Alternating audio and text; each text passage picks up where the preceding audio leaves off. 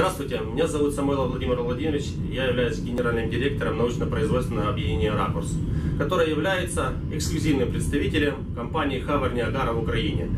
На данный момент мы находимся на центральном горно-обогатительном комбинате Метинвест Холдинга, на котором установлен окомкователь Скоробеев 7,5 тысяч, диаметром 7,5 метров.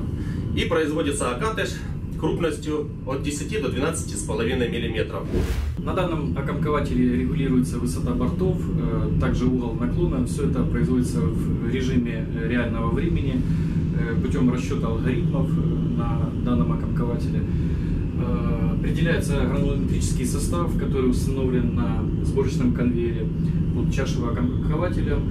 Также контролируется гран-состав путем изменения частоты вращения и добавления влажности выпавших того материала.